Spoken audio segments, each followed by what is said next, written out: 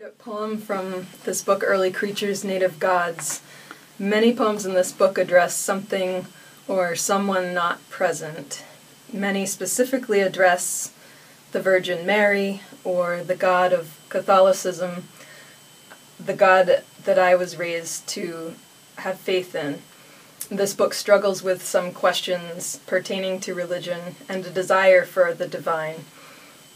This particular poem that I'll read is one of the last poems in the book, and it's a sort of prayer, not a prayer directed to a thinking God or a God that cares necessarily, but nonetheless a God or a deity.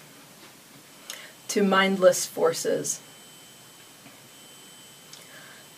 To mindless forces who tumble all the stones along the shore of Campobello Island, smacking glass with sand until the cutting edge is frost. I'm telling you, for whom all wars and ages are a day's grind, to go on grinding. Smooth and fling me now with what you flung before.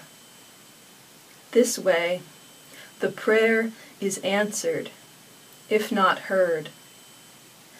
The sea heaves dumbly on, but I can speak. Sea, take this shore.